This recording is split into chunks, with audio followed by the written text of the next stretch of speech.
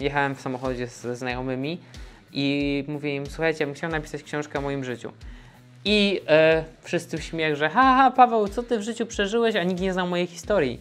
E, co ty w życiu przeżyłeś, żeby pisać książki? I wiesz, do czego dotyczy ten zwyczajny chłopak? Że chciałem ludziom powiedzieć, że nie musisz generalnie mieć pleców, nie musisz mieć znajomości, nie musisz mieć tego wszystkiego, żeby coś zacząć robić. Możesz po prostu być zwyczajnym człowiekiem, zwyczajnym chłopakiem, ale po prostu jak chcesz coś robić, to to rób. I pisałem dzień w dzień. Dzień w dzień po prostu do godziny pierwszej, pierwszej drugiej w nocy. E, tak jak mówię, Most Ikara, który jest znacznie grubszy swoją drogą, e, pisałem około półtorej, półtorej roku, dwa lata. Tą książkę napisałem dokładnie 35 dni. Ja nawet e, śmiało mogę to powiedzieć, że nie, e, e, świat nie pozwolił mi zostać modelem, więc zrobiłem się nim sam.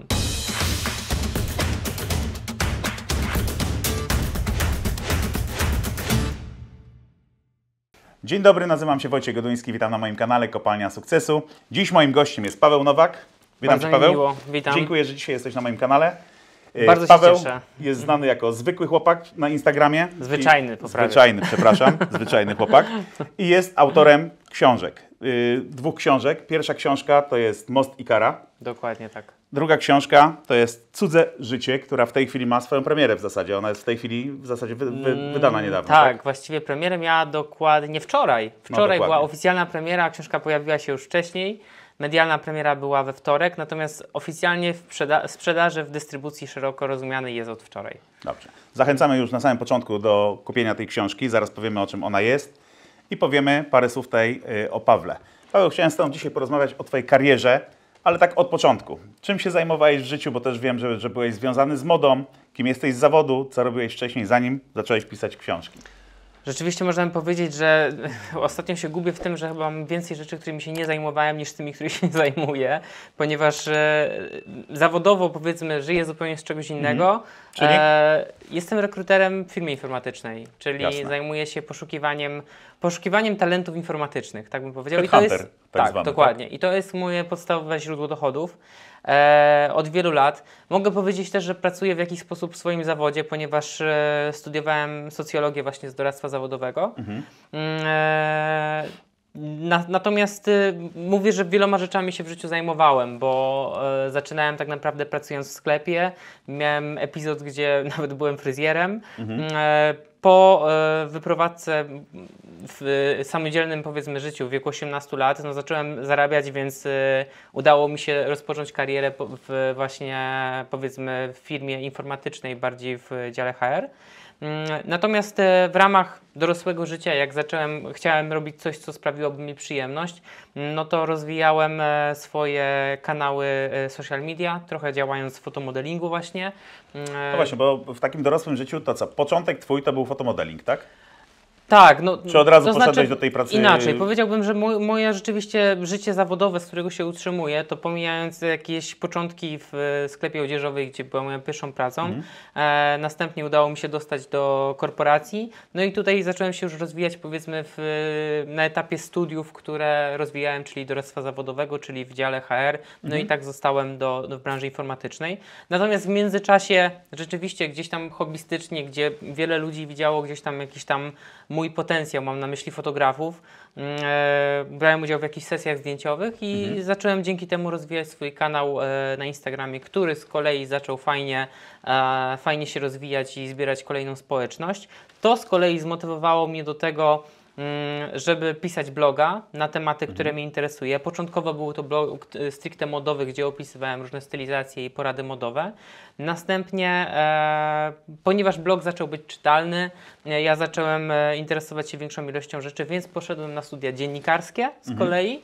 E, No i wtedy łącząc te e, powiedzmy zagadnienia socjologiczne, czyli moje pierwsze studia Tak. z dziennikarstwem, to mnie pchnęło do tego, żeby rozwijać ten, ten, ten blog e, w takich kwestiach poradu, porad, coachingu interesujących mnie tematów. Tak samo jak moje kanały social media, one też poszły w kierunku takiej bardziej analizy tematów, które mnie interesują. No i tak sobie tworzę. Docierając do momentu, gdzie zdecydowałem o napisaniu książki. Mhm, ale to dobrze, no, utw- utw- utworzyłeś ten blog, który na początku zajmował się jakby modą, tak? Nie myślałeś, żeby całkowicie się zająć modą? Żeby No- drążyć ten temat i nie wiem, zostać kreatorem mody, doradcą modowym czy czymś takim? Znaczy, wszystko to, co chciałem robić w życiu, a ja lubię to robić. Mhm. E, Dobrze się czuję przed aparatem i generalnie no, e, nie, nie mam z tym problemu, tak? Jakby jeśli ktoś e, ma jakiś pomysł, proponuje mi udział w sesji zdjęciowej, to sprawia mi to przyjemność i, i jakby chętnie się podejmuję takich wyzwań. Mhm. Natomiast no, nie mogę zostać modelem, ponieważ jestem mały. No, ale fotomodel to chyba nie ma 1,75. znaczenia, tak? No w Polsce ma, bo w Polsce raczej nie ma takich agencji, które są stricte dla fotomodeli. Zazwyczaj agencje mm, mają w swoim portfolio osoby, które mogą pełnić jedne i drugie zlecenia, czyli są po prostu modelami pełnowymiarowymi. Jeśli e, ja ze swoimi powiedzmy wzrostem, a mam 1,75 m, więc jestem naprawdę niski raczej, e, no nie pojadę na kontrakty modelingowe, więc żadna agencja by mnie No nie, nie, nie, nie przyjęła po prostu na zasadzie tylko zdjęć. No ale w, przy, w przypadku fotomodelingu nie widać jakby Twojego wzrostu, bo jeżeli jesteś proporcjonalny i są odpowiednio wykonane zdjęcia, to możesz nawet wyglądać jakbyś miał dwa metry. prawda? Tak, absolutnie tak. Jest to możliwe, tylko tak jak mówię, jakby no, po- e, agencje muszą mieć w swoim portfolio modeli, które e, od, e, mogą wykonywać każdą pracę. Rozumiem.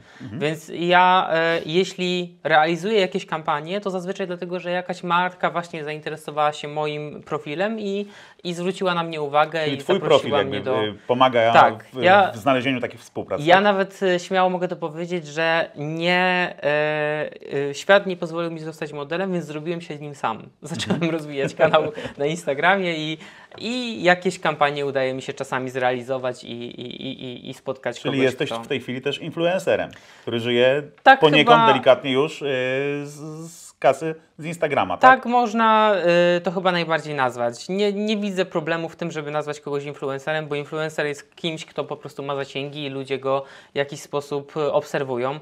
Ja mam, Tak. ja nazwałbym się mikroinfluencerem, bo ja cały czas powiedzmy sobie tam gdzieś tam na uboczu zbieram tych obserwatorów, ale jest sporo ludzi, które, które mnie zaczęło obserwować, które śledzi to, co robię. No i to, tak jak mówisz, pozwoliło mi nawiązać współpracę z jakimiś markami i zrealizować dla nich jakieś zlecenie, a przede wszystkim no właśnie wejść w ten obszar, który, który jest mi teraz najbliższy, czyli książki, które. No właśnie, jak to się wydaję. stało, że napisałeś pierwszą książkę? Pierwsza książka nazywa się Most Ikara. Tak. Troszeczkę dwuznacznie. Mówimy No, nawet- o moście Ikara, tego, który miał skrzydła i latał, tak, tak? tak, tak, tak, tak. Okej. Ona ma rzeczywiście ten tytuł.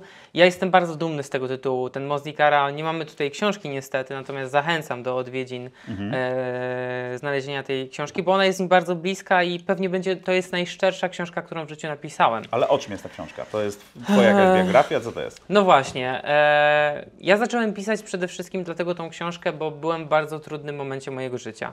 E, powiedzmy, że byłem na świeżo po rozstaniu, a też pa- parę rzeczy się powiedzmy wymagało takiego uporządkowania. No i ja e, pisałem ją dla siebie, żeby przepracować w swoim życiu pewne, pewne sytuacje z przeszłości. E, I mocno rzeczywiście nie nazwałbym tej książki autobiografią, bo jeśli ktoś mnie zna i wie, jak się książka kończy, to, no to trudno to nazwać taką stuprocentową autobiografią. Natomiast rzeczywiście to, co w jakiś sposób przeżyłem, ja próbowałem sobie uporządkować w swojej, swojej książce i bardzo dużo dałem siebie samego głównemu bohaterowi. Więc ta książka w momencie rozpoczęcia jej pisania tak naprawdę nie byłem pewny, że ona będzie książką. Ja po prostu robiłem sobie notatki, Notatki, własnego no właśnie, życia tak na myślałem, takiej że to tak mogło zasadzie. być na samym początku. E, moja przyjaciółka była pierwszą generalnie osobą, która zaczęła to czytać. Mhm.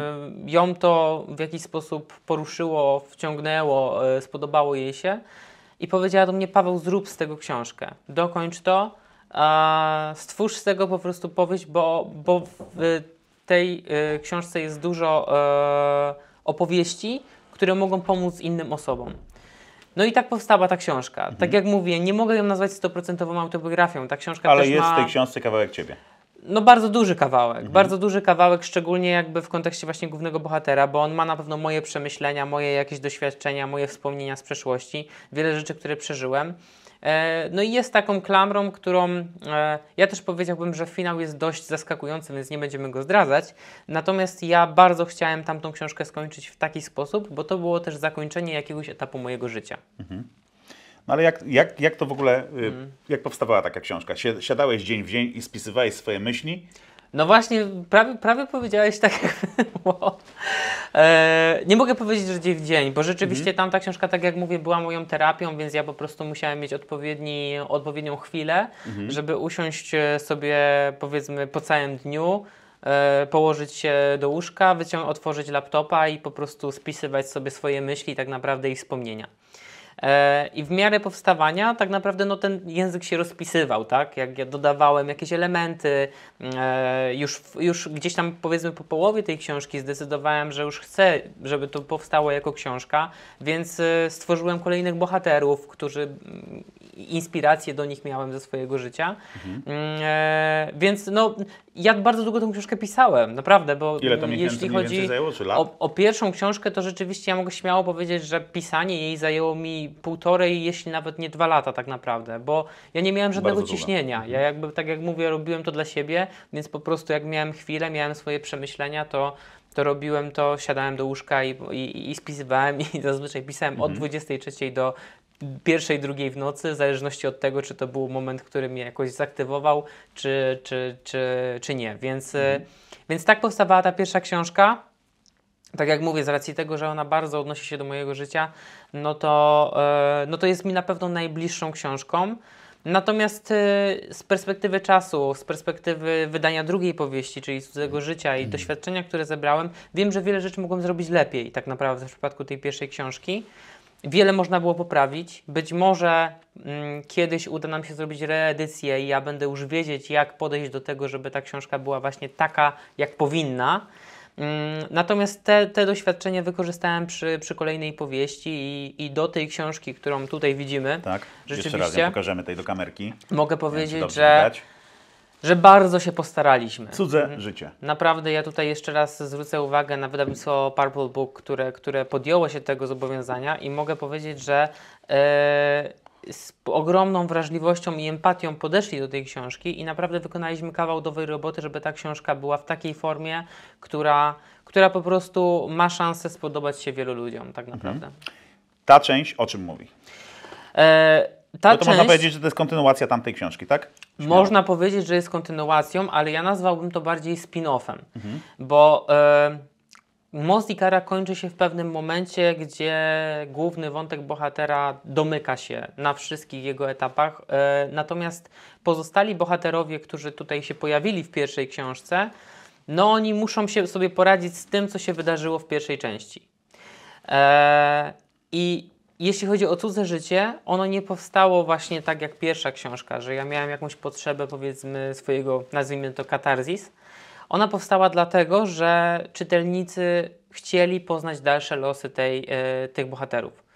E, więc, e, więc jakby no ja podjąłem to, to wyzwanie, żeby opowiedzieć ich historię dalej.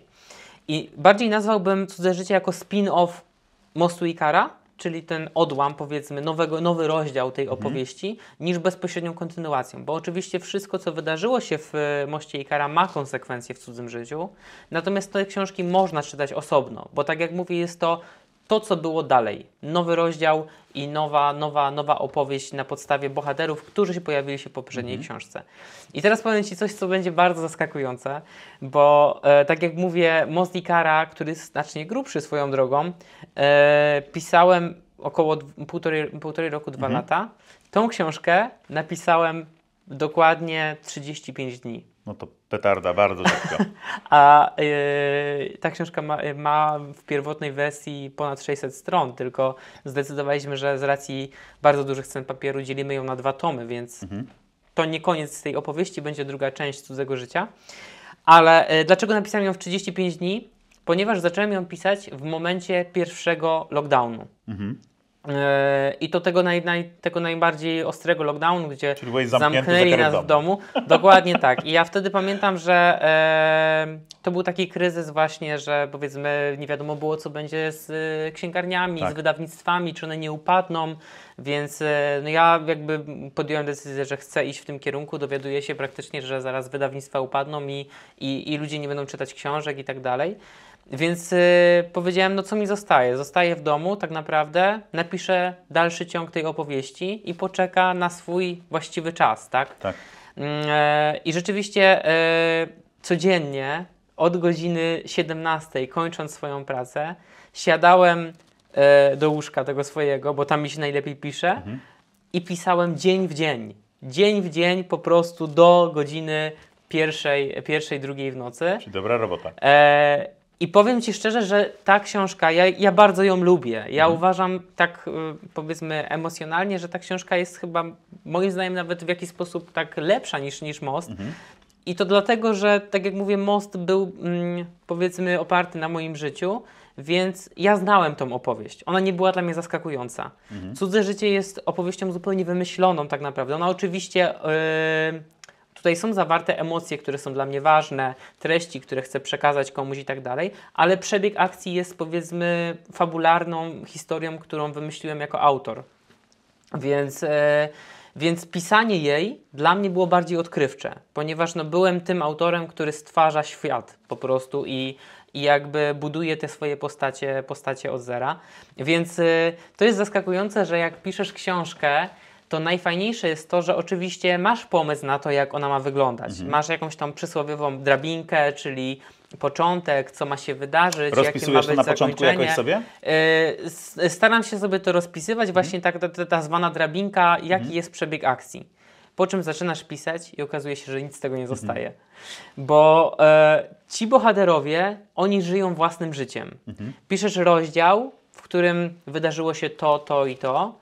I w kolejnym rozdziale, no w planach masz napisać coś innego, ale okazuje się, że no tak nie może być, bo przecież w poprzednim wydarzyły się takie rzeczy, że konsekwencje tego będą inne.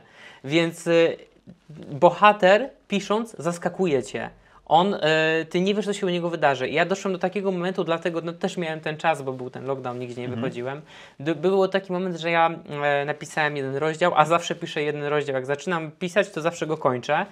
E, I następuje kolejny dzień i e, ja się nie mogę doczekać. Jestem w pracy do tej 17, nie mogę się doczekać, co się wydarzy u mojego bohatera. Tak jakbyś oglądał serial, który składa się z 30 Czyli odcinków. ty jeszcze nie wiesz, co tak naprawdę się wydarzy u tego Nie bohatera wiem, twojego, nie wiem, bo ty właśnie. to dopiero wymyślisz zaczynam, na, na, bież, na zaczynam bieżąco, tak? pisać, zaczynam pisać i nagle to wiem tak naprawdę, bo on rzeczywiście no, daje mu duszę swoją tak naprawdę, bo rzeczywiście e, otwieram mu życie, ale mówię, że, że jest to absolutnie najciekawszym e, etapem pisania, że właśnie masz prawo tego, że tworzysz historię, tak? Jakby on cię zaskakuje. Ty ci bohaterowie, którzy, którzy się pojawiają na kolejnej stronie, zaskakują cię i nieraz tak naprawdę no, pisząc dowiadujesz się dopiero, co się u nich dzieje.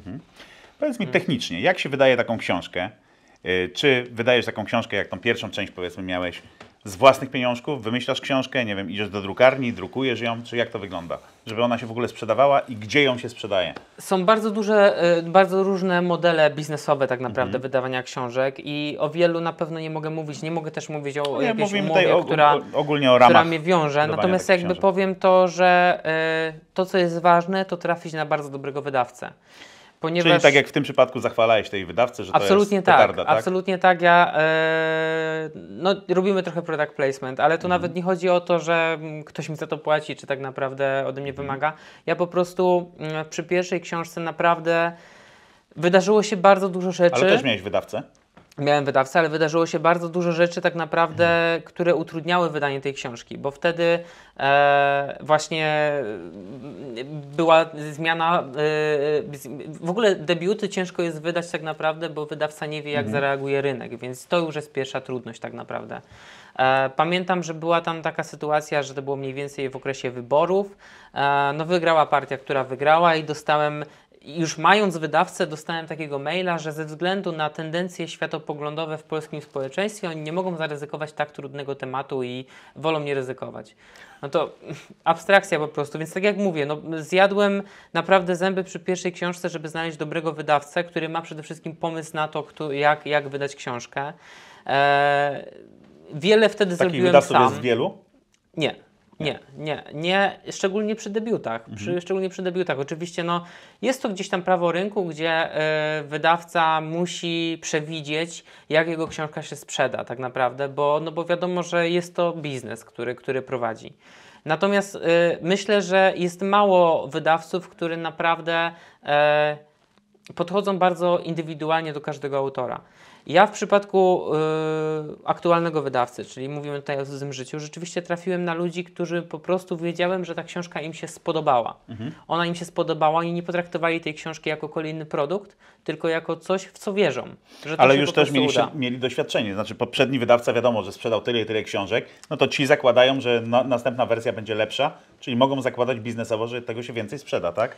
Czyli za drugim razem już jest łatwiej znaleźć takie wydawcę na pewno. Na pewno przy drugim razem jest łatwiej, na 100%, natomiast to i tak nie zmienia nakładu pracy, który trzeba wy wykonać tak naprawdę, bo kluczowy, oczywiście marketing jest e, ważny na każdym etapie i to nie jest tak, że wydawca zrobi wszystko za autora, więc jeśli autor jest, e, napisze sobie książkę i oddaje książkę do wydawnictwa i mówi róbcie, róbcie promocję, to to też się nie uda. Bo ta książka, każda książka wymaga zaangażowania po każdej stronie. I my też mieliśmy taką komunikację z moim wydawcą, że działamy razem. Działamy razem, ty wykonujesz swoją robotę, my wykonujemy swoją i robimy, robimy wszystko, żeby było jak najlepiej. Dlatego tak jak mówię, jakby no tutaj ja y, absolutnie będę to po, po, potwierdzać, że po prostu trafiłem na kogoś, kto uwierzył w tą książkę, że my ją dobrze sprzedamy, bo jest to dobra książka po prostu. No tak, Natomiast twoim- jakby też powiem jeszcze jedną rzecz, bo to jest y, marketing, cały czas o tym rozmawiamy. Bardzo ważna jest dystrybucja. Bardzo Mhm. ważna jest dystrybucja, bo ja miałem ten problem w przypadku pierwszej książki, że no ona była wydrukowana, Tak. ale nie była szeroko dostępna. I taki przysłowiowy Kowalski, no skądś musiał się dowiedzieć, że ta książka jest. Czy ona powinna być widoczna, żeby on ją kupił, prawda? No, Szczególnie na półkach gdzieś tam Dokładnie, w sklepach, tak, więc- w jakimś. Im, Im więcej pozwoli, im więcej wydawca e, ma możliwości dystrybucji, tym e, jest w stanie książka dotrzeć do większej ilości po prostu odbiorców. I to jest kluczowe, bo no, gdybyś e, nie obserwował mnie na Instagramie, to nie wiedziałbyś, że napisałem, prawda? Tak. A nie obserwuje mnie cała Polska tak naprawdę. Ale masz już więc- też rzeszę takich y, Absolutnie swoich fanów jakby. bardzo tak? ich szanuję i dzięki nim sprzedałem pierwszą powieść między innymi. Natomiast tak jak mówię, no ważne jest, żeby wyjść poza swoją niszę, czyli poza jakby ten, e, tych ludzi, którzy mnie obserwują, tylko tych ludzi, którzy mogą mnie zacząć dopiero Tak. obserwować, bo dowiedzieli się na przykład, że moja książka istnieje, więc dystrybucja w przypadku każdej książki jest e, kluczowa, na pewno. No, ale myślisz, że taki zwykły Kowalski dzisiaj wymyśla sobie, bo już słyszę od wielu, wielu osób, że ktoś ma tam ochotę napisać swoją książkę, no ale nie jest rozpoznawalną osobą, nie jest znaną osobą, nie ma kont na Instagramie, nie ma Facebooków i tak dalej. Yy, Czy jest taka osoba w stanie wydać taką książkę? Myślę, że e, ja, ja nieraz dostaję pytanie, jakby Mhm. od jakiegoś e, osoby, która przeczytała moją książkę, że też bym chciał, czy, czy, czy to jest możliwe. Ja zawsze mówię jak najbardziej, no próbuj, Mhm. naprawdę pisz, ale przede wszystkim pisz. Nie miej słomianego zapału, że chciałbym napisać, tylko po prostu pisz. Mhm. Bo najwięcej ludzi odpada na tym etapie po prostu, że zaczyna pisać i sobie myśli, a nie, to i tak się nie uda, tak? Więc y, są takie przypadki, absolutnie są. Nie trzeba być instagramerem, nie trzeba być powiedzmy celebrytą. To absolutnie ułatwia, ułatwia dotarcie do ludzi. No na pewno, bo już jest jakaś rzesza ludzi, którzy na pewno kupią tą książkę. Tak, ale e, takie rzeczy też się jak najbardziej udają. Absolutnie powtarzam, że praca wydawcy ma bardzo duże znaczenie i dobrze trafić właśnie na tego wydawcę, który po prostu w ciebie wierzy. Bo jeśli on w ciebie wierzy, no to on zrobi wszystko, żeby tą książkę po prostu sprzedać. Jeśli e, trafimy na wydawcę, który potraktuje nas, dobra, jest nasz kolejny autor, wydrukujmy mu książkę i idźmy dalej, no to jest mała szansa, żeby to się przebiło, prawda? Więc y, trzeba znaleźć po prostu ludzi, którzy naprawdę wierzą w ten projekt i nawet nie mając, nie mając nawet konta na Instagramie, tak naprawdę można wydać książkę i ona może być sukcesem. Pod warunkiem tylko, że no, to działanie jest z obu stron, że autor też się angażuje. Wiesz, jest też taki, taka sytuacja, że praca autora to nie jest tylko pisanie książek, to jest też wyjście do ludzi. E, bo e, pewnie wydawca, czy też nawet powiedzmy jakieś domy kultury i tak dalej, będą chciały, jeśli książka się spodoba, zaprosić takiego autora, żeby, żeby on chciał e, opowiedzieć o niej Tak. swoim, swoim powiedzmy mieszkańcom, czy, czy też odbiorcom. No ale jeśli autor będzie, nie, nie, ja nie chcę, ja tylko chciałem wydać książkę, no to jak to ma się sprzedać?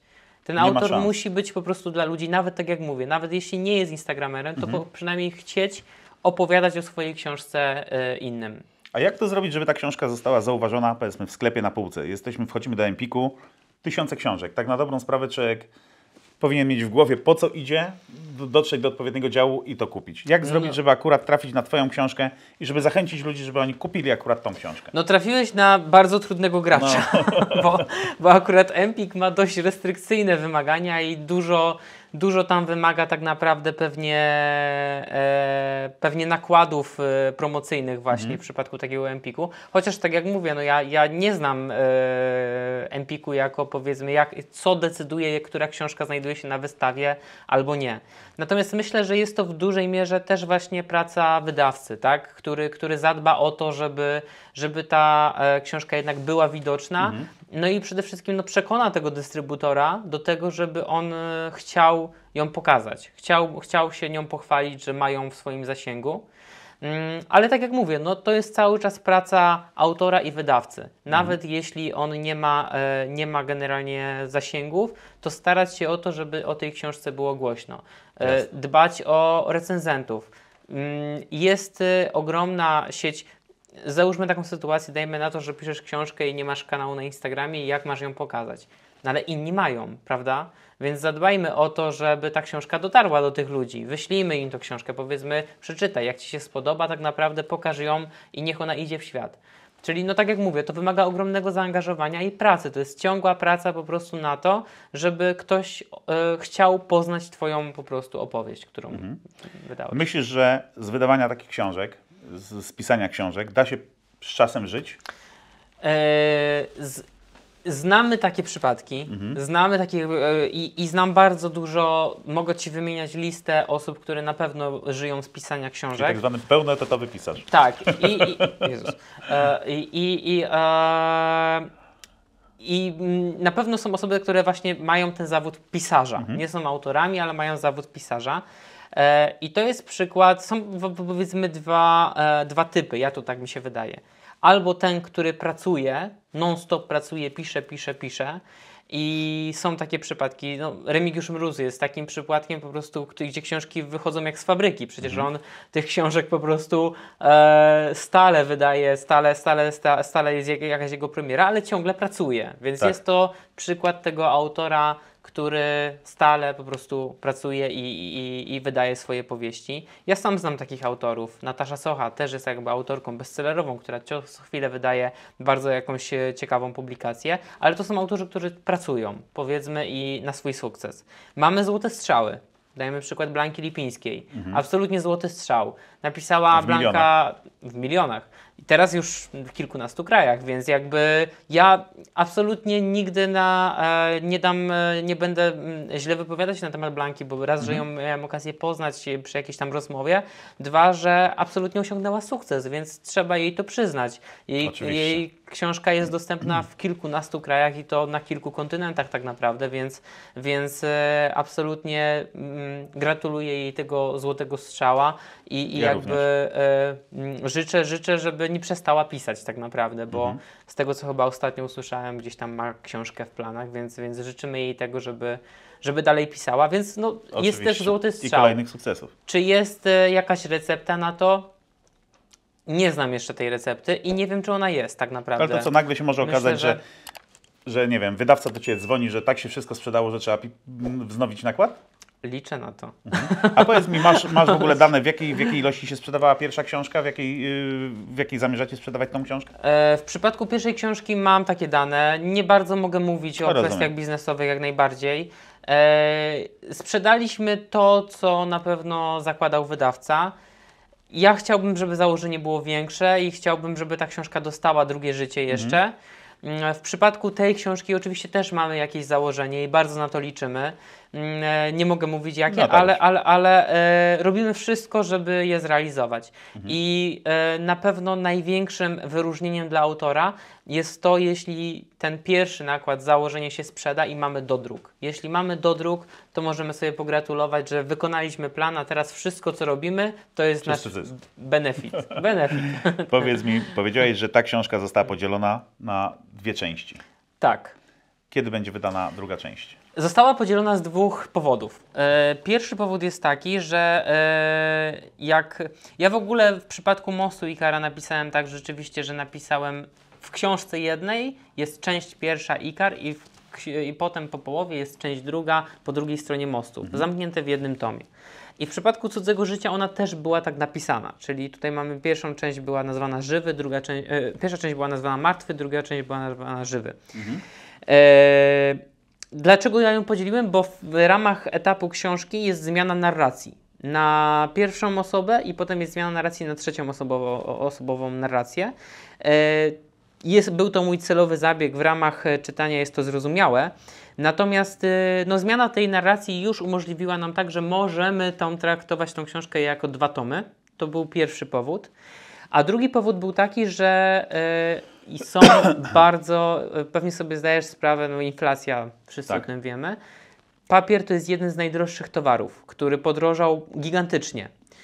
E, I teraz no, był taki dylemat. Albo skrócamy książkę, bo gdybyśmy ją nie skrócili, czyli wydali w tym pierwszym założeniu, ona miała ponad 600 stron, ta Cena książka zaprawa. musiałaby kosztować z 80 zł. No to Tak. nikt nie kupiłby tej Tak. książki po prostu. Więc no, był plan. Albo musimy wycinać dużo, albo dzielić ją na pół.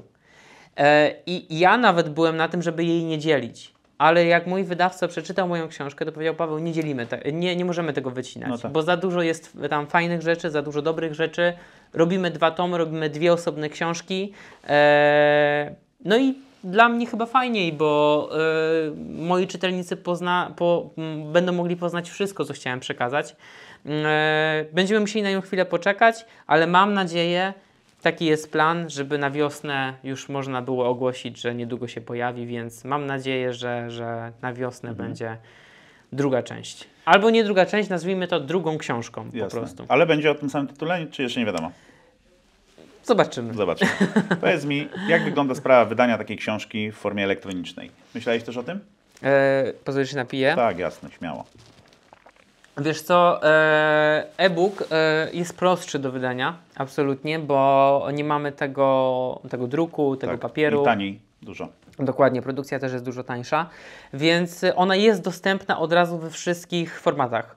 E, W dniu premiery, czyli wczoraj, była dostępna wersja papierowa, wersja e-book, wersja audiobook e, i wersja m-book, czyli na telefony, na smartfony. E, Więc e, zadbaliśmy o to, żeby e, w momencie premiery każdy z czytelników, w zależności od tego, jaką formę preferuje, mógł wybrać taką, taką wersję, która mu najbardziej odpowiada. Ja się bardzo cieszę, też sobie pozwolę na małą reklamę, że książka w formacie audiobooka jest czytana przez Macieja Radla, aktora e, zarówno serialowego, te, muzykalowego, jak i te, teatralnego. Nie wyobrażałem sobie, żeby ktoś kto inny ją pisał, ją czytał, ponieważ e, pierwsza książka była czytana przez niego i druga też. Więc e, no, piękny, ma, piękny ma głos, bardzo oddaje te emocje, które, które tutaj są zawarte, więc no, wszystkie formy są, tak jak mówię, dostępne. Mm, E-book też. Mm, Ja na przykład nie lubię e-booków, powiem szczerze, mimo tego, że jestem autorem i boję się, że taka przyszłość czeka literaturę, że Czeka. to przeniesie się do właśnie formy elektronicznej. No ale Wojtku, powąchaj to. No tak, No to właśnie. jest inne czytanie. jest prostu- Też jestem wiesz, starej daty Tak. i też uważam, że takie książki się lepiej czyta, no ale jednak wszystko przechodzi do Tak, internetu. dokładnie. Po prostu dla mnie w ten format on ma duszę. To jest jakiś twór. To nie jest kolejny komputer i kolejny ekran, który masz Tak. przed sobą i strona, która masz w pliku, tylko ona leży ci na półce i nawet jeśli ją nie czytasz, to wiesz, że no ktoś tam jest, tak? Tak, Na- ale to wiesz, to będzie historia tak jak, nie wiem, skończyły się CD-romy, gdzie kiedyś się, nie wiem, piosenki wydawało na płytach, czy, Tak, czy nie wiem, no, tak. dyskietki do komputera. Pewne rzeczy, pewne Chociaż etapy powiem się Ci, że kończą. Mhm. ja mam do tej pory płyty i powiem Ci, że nawet je kupuję. W ogóle mam nadzieję, że kiedyś dojdzie do tego, że będą tyle warte co płyty winylowe. Mogą być warte, już niektóre osiągają w tej chwili wysokie, wysokie ceny. Ale no widzisz, dzisiaj kupujesz samochód i nie masz nawet tego wejścia na, na Właśnie, płytę. ostatnio też to zauważyłem generalnie, że, że jakby po co te płyty są wydawane na przykład, ja ostatnio nawet na moim evencie pojawia się Gosia Andrzejewicz, pytam ją, Gosia, kiedy płyta? Kiedy twoja płyta będzie? A, a Gosia do mnie mówi, no ale Paweł, po co mi ta płyta? Przecież nikt nie mają gdzie, gdzie generalnie e, Odsłuchiwać. odsłuchiwać, że no, będą kolejne single e, i mam nadzieję, że, że ona będzie płyta cała, tak? Tak. Natomiast mówimy o płycie tej... Takiej tej, formie tej, CD-ROM. Tak, dokładnie, CD-ROM, Znaczy który... to jest, wiesz, to jest taki No. gadżet dla fanów, jak przyjdą pod scenę, można taką płytę podpisać, no tak na dobrą sprawę to jest jedyna forma takiej, takiego, takiej gratyfikacji twojego, wiesz, No może ja na, przy, Yy, na fana. przykład, e, ja lubię te płyty, one Mhm. cały czas są oczywiście w sprzedaży, tylko nie ma gdzie ich słuchać Tak. rzeczywiście. Ja sobie zdaję sprawę, że nie mam gdzie ich słuchać, bo, bo przecież jakby nawet nie mam odtwarzacza. tak, dokładnie. Ale to jest tak jak z tą książką. No właśnie to jest ten, to co weźmiesz do ręki, tak? Na takiej zasadzie, że rzeczywiście To też będą te książki z czasem będą po prostu takim gadżetem Tak. do, do tego, żeby się pochwalić takim czymś.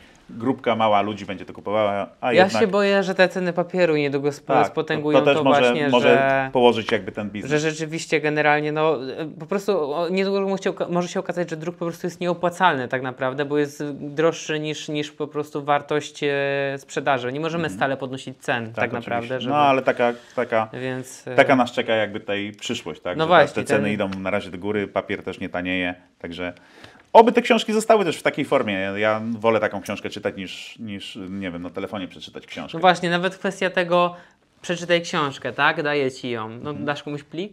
No nie, no właśnie. Jakie plany na następne książki? Kiedy następną? Siadasz i piszesz. Już jest napisana. Już? Masz już zapas szufladowy? Tak jak mówię, że właśnie e, jest napisana, no to miała być, miała być to jedna książka, więc już... Ale to mówimy e, o tej drugiej części. Czy jeszcze coś masz nowego? Jeszcze, jeszcze jest jedna. Także, także jak mówię, e, ta druga książka, Cudze Życie, mam nadzieję, że będziemy mieć ten tytuł, być może jakoś zmieniony, ale, ale to będzie w, te, w, te, w tej formie. Mm, E, no mam nadzieję, że pojawi się na wiosnę, ale przyznam szczerze, że e, w mojej szufladzie jest nie powiem, że najukochańsza książka, ale na pewno najzabawniejsza, jaką w życiu napisałem, bo te książki są smutne. Ja nie będę tego ukrywać, że to nie są książki, które się czyta na zasadzie komedii, które co chwilę jest, się świetnie bawisz. Tam pojawiają się zabawne momenty, ale te książki są refleksyjne, e, smutne i mające skłaniać do przemyśleń, bo takie było założenie.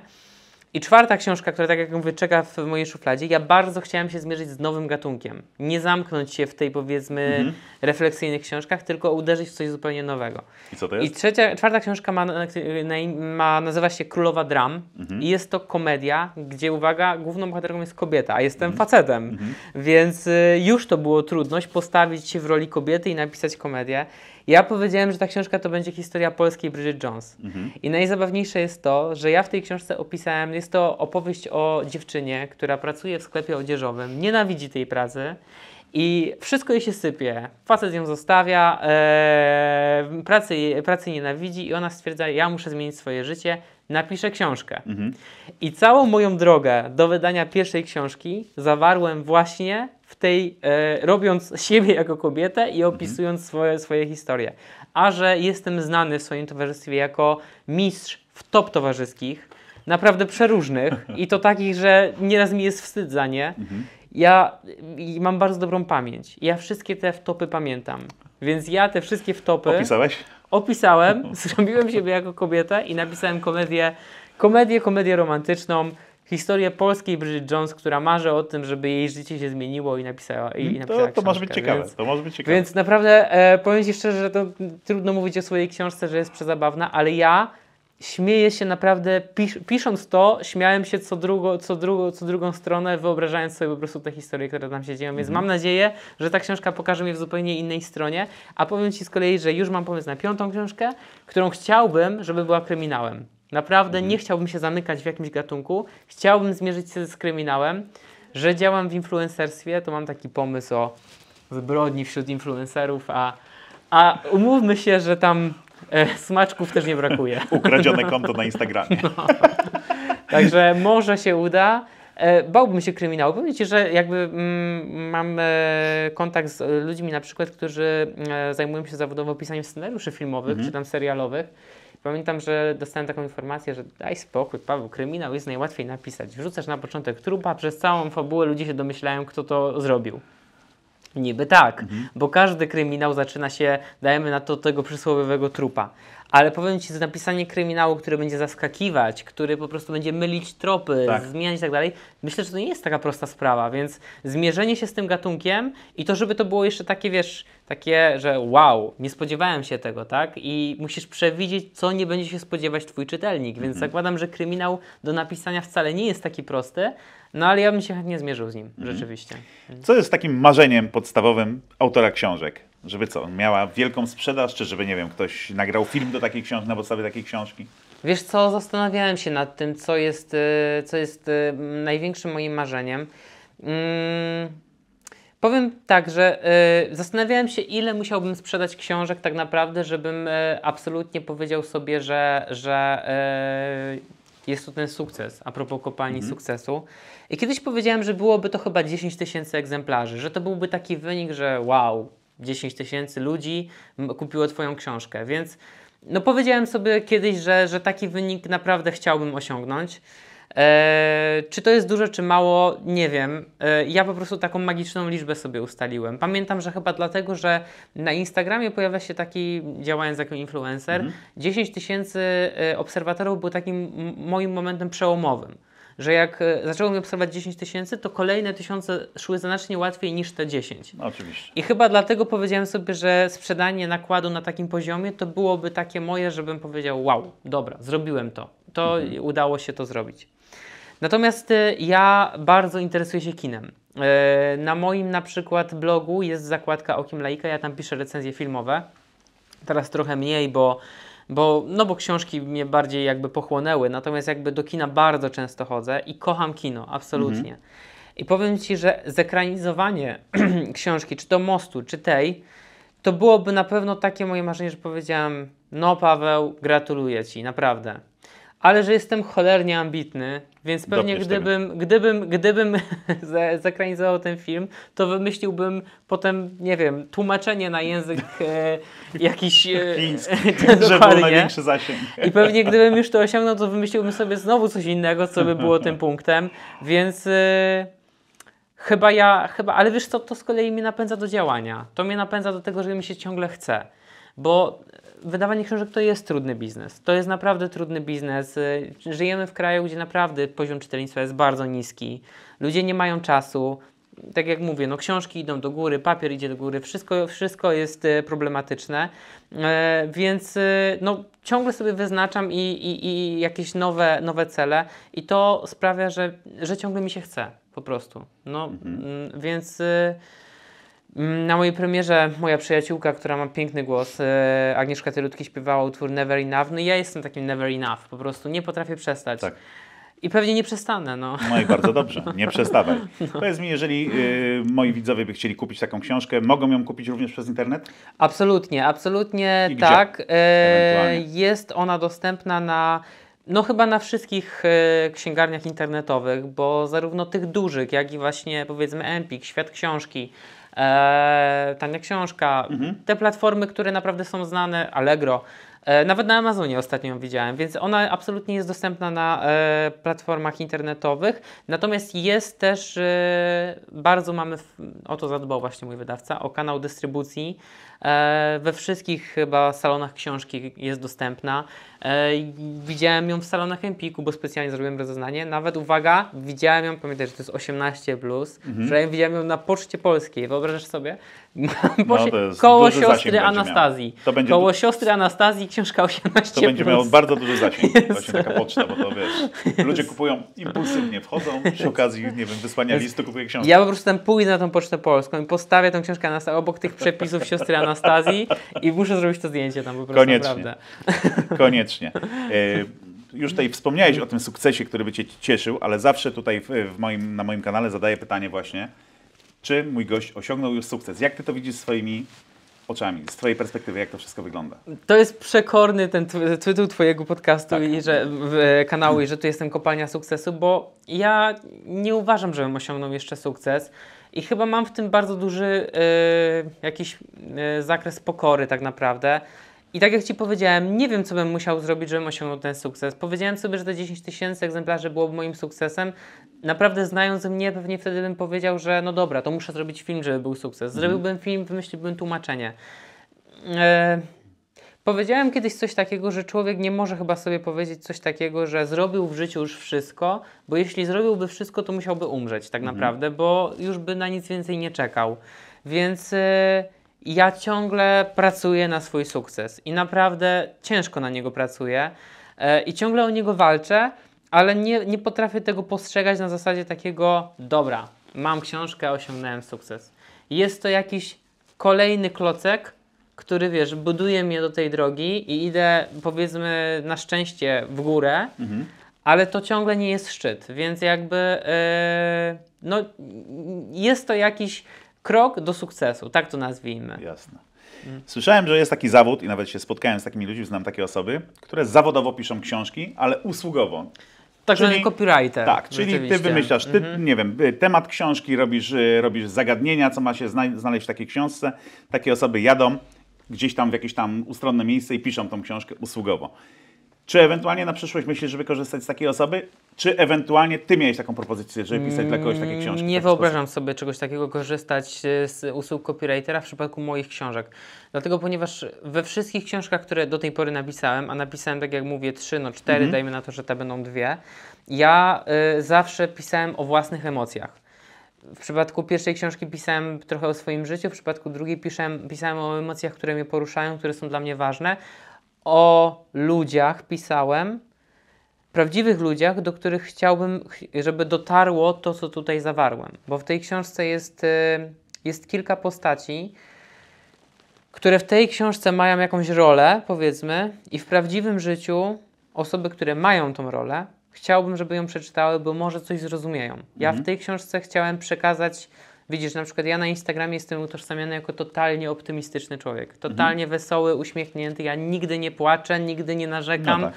na, na social mediach, a to nie znaczy, że tak nie jest.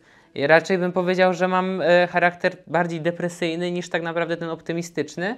Mm, I wiele rzeczy mnie boli, ale ja o tym nie mówię, ja o tym piszę właśnie. E, więc, e, więc no, powiem szczerze, że nie wyobrażam sobie, że ktoś miałby pisać o moich emocjach tak No naprawdę, tak, bo zresztą po- tego... wspomniałeś wcześniej, że to powstają te książki na bieżąco, że często siadasz i nie masz, Dokładnie, nie masz więc- pomysłu jeszcze, co się będzie działo w tej książce. Ja na pewno nigdy bym nie skorzystał z takiego, z takiego zabiegu, ale nie krytykuję tego, bo wiem, że ludzie korzystają A z sam usług miałeś takie propozycje, copywritera. tak pisał? Tak, ja dostałem dwukrotnie taką propozycję mm, e, i pierwszej odmówiłem, bo właśnie to ktoś mnie poprosił, żebym opisał ich życie na takiej zasadzie, mm, e, że oczywiście te osoby by mi opowiadały o tym życiu, ja bym to spisywał.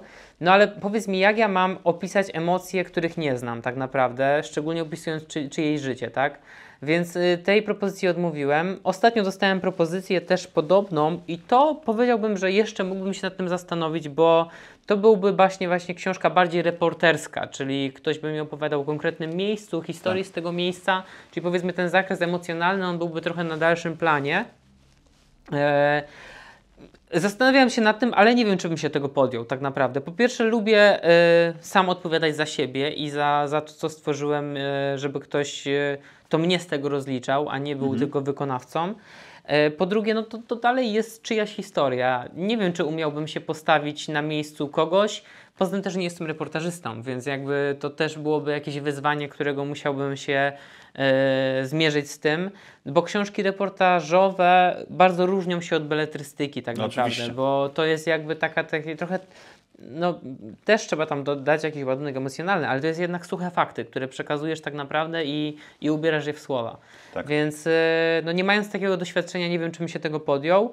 Mm, Nie powiedziałem nie, bo, bo powiedziałem, że mógłbym się nad tym absolutnie zastanowić, ale tak jak mówię, bardzo sceptycznie będę do tego podchodził, no bo jeśli coś robię, to chciałbym się pod tym podpisać i byłoby to 100% moje, a to też nie byłoby 100% moje, tak? Tak, oczywiście. No wtedy jesteś całkowicie anonimowy, tak na dobrą sprawę. No, Ukryty wie. właściwie, Ukryty tak? jesteś całkowicie. Autorem jest dalej osoba, która ci o tym opowiada, a nie ty. Ty jesteś Mhm. powiedzmy maszyną do pisania taką tak. Dokładnie tak. z własną głową.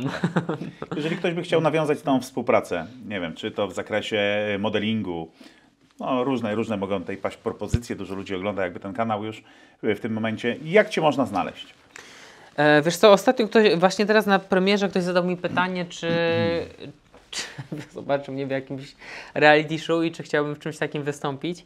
E, ja wtedy powiedziałem, że ja dostałem kilka takich propozycji i kilka odmówiłem. E, Na pewno są jakieś reality show, które, które totalnie są niespójne ze mną i, i nie chciałbym się w czymś takim pojawić, ale są też programy, w których bym chciał, jak najbardziej.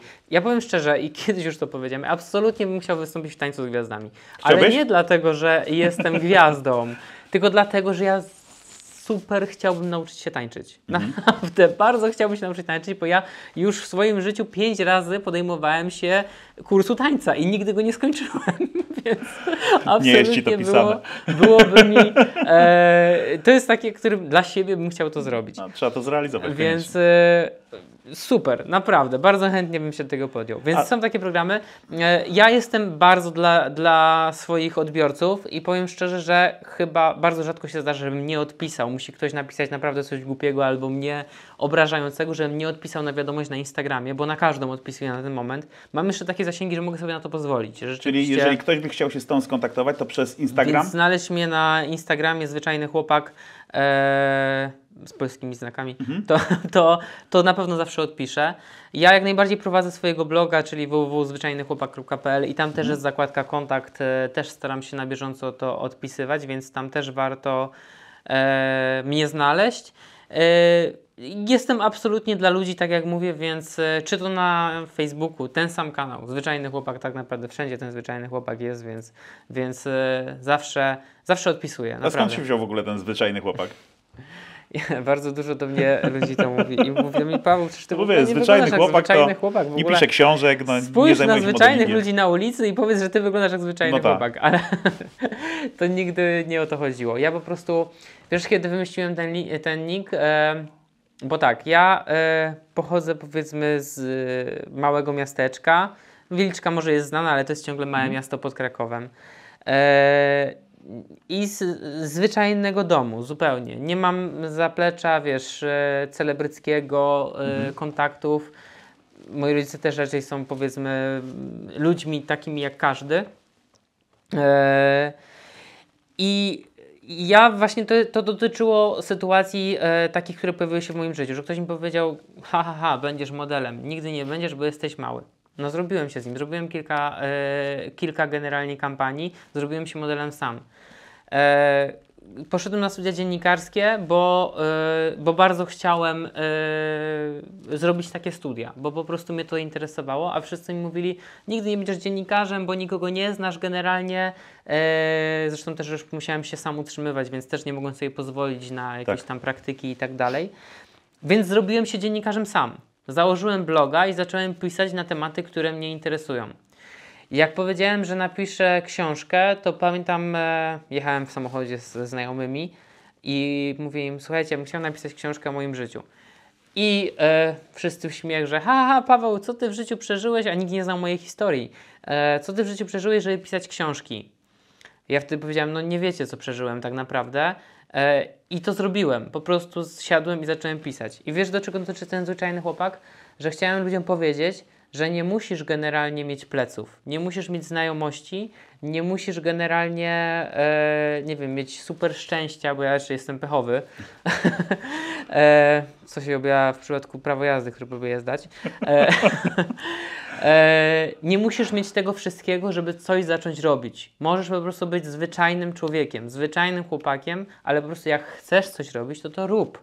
Pracuj, po prostu pracuj i wtedy ci się uda, po prostu. Tylko Oczywiście. rób to po prostu, a nie mów tylko o tym, że chciałbyś to robić na takiej zasadzie. Oczywiście. Więc Też stąd jest ten zdania, zwyczajny chłopak po Że prostu. każdy jest w stanie osiągnąć wszystko, tylko Bo trzeba się my wszyscy jesteśmy za to zabrać. zwyczajnymi ludźmi i wystarczy po prostu, że pracujemy, żeby. Są różne drogi, ale ta droga wypracowana y, często jest najbardziej trwała po prostu. Pięknie dziękuję Ci za dzisiejszy wywiad. Ja również bardzo Życzę Ci dziękuję. samych sukcesów, kolejnych sukcesów, żeby te książki się sprzedawały w milionach. Zapraszamy tutaj Tak. do kupna tej książeczki i przeczytania jej koniecznie. Dziękuję Państwu pięknie za obejrzenie dzisiejszego odcinka. Jeżeli odcinek się oczywiście spodobał, koniecznie wciśnijcie pod filmem ikonkę subskrybuj i ikonkę dzwoneczka. Zostawcie również łapkę w górę. Jeżeli, I bardzo proszę, jeżeli jest taka możliwość, udostępniajcie wszędzie ten materiał, żeby miał jeszcze większy zasięg. Dziękujemy pięknie i Dzięki pozdrawiamy, wielkie. pozdrawiamy Do serdecznie. usłyszenia. Do zobaczenia.